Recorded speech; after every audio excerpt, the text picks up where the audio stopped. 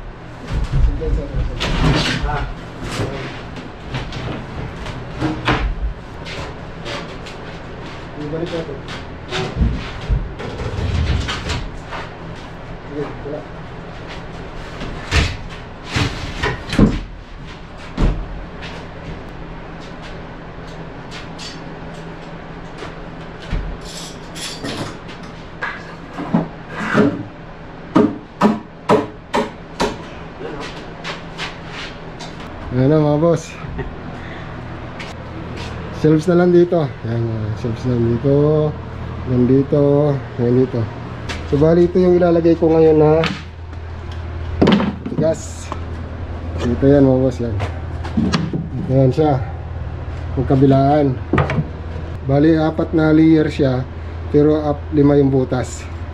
Ngayon para makuha natin yung label nito, gagawa tayo ng forma. Tapos lagyan ng ano dito. So, ganyan siya.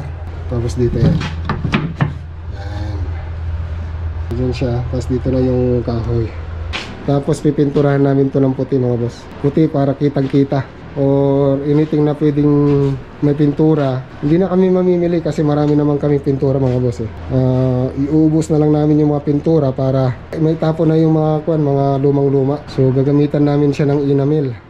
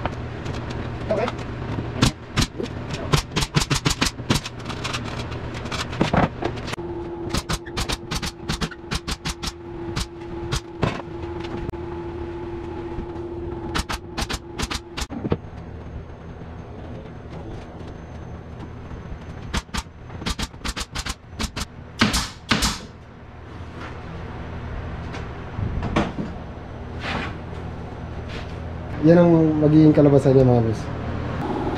Dito na sir. Hindi na nagalaw eh. Kabilaan dapat. Hmm.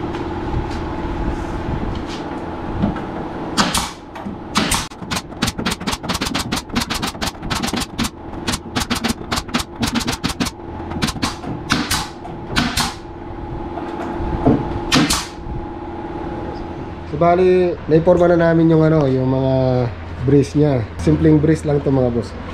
Gaya ng mga to. Mabibigat yung mga ilalagay ko dito kaya ito yung nilagay ko para matibay. Ah, nag-primer ako kagabi para makita ko kung okay siya. So para sa akin okay naman na to. Storage lang naman to kaya rough lang yung ano niya, yung pintura.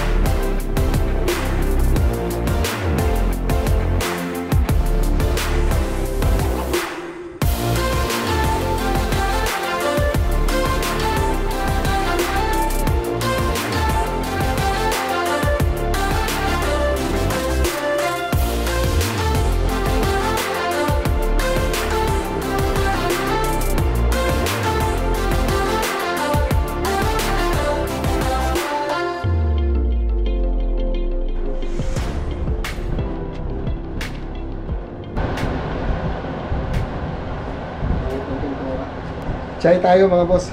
Chai, chai, chai, chai. yung chai dito, tea.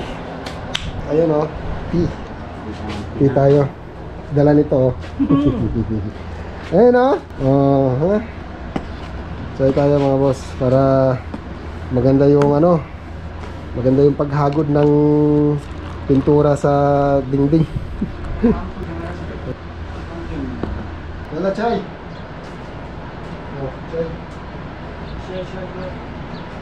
Mga kaway-kaway siya. Hmm? Dahon yan. Dahon. Dahon ng ano, Pilipin. Palis na ko. oh, masarap to. Meron siyang ano, meron siyang mint. Gusto ko sana brown. Brown ko kaya yan. Pero naman akong pintura pang brown. Ayun na mga boss. Malapit na matapos tong project namin. Ayan. Taran! Parang walang nangyari. Ayan mga boss. Tinimplang ko yung brown at saka puti. Pinaghalo ko na lang kasi yun yung mga sobra ko. Ito yun mga boss. Oh. Yan yung kulay ng ah, pintura namin.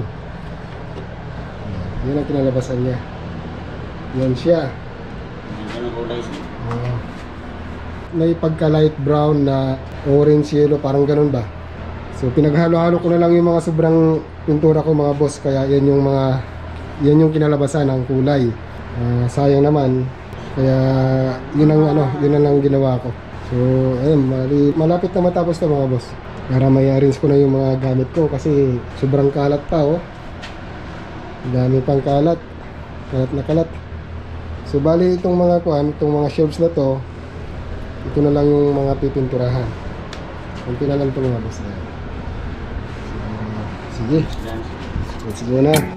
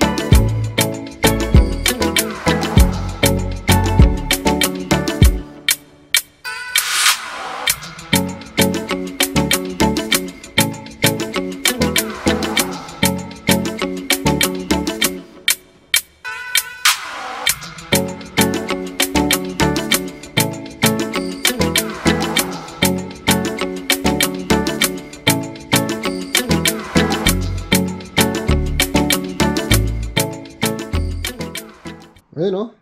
Yan. Ayun na mga boss, tapos na siya. So, bali ito yung kinalabasan. Yung pintura pa lang ginamit namin dito mga boss. Minix ko yan na brown at saka white na enamel. Pwede na ako maglagay ng mga stock ko dito bukas mga boss para ma-organize ko naman ng maayos yung mga mga stock ko. Kasi talagang nagkalat na yung mga gamit ko rito. Ma- ma-organize ko na ng maayos yung mga mga stock ko na ilaw at saka ano sa mga pintura. Doon yung pintura, dito yung mga ilaw. Ayun mga boss, bali dito ko na lang ulit tatapusin at kita-kita tayo ulit bukas. Sa day 3. Okay. Bye-bye.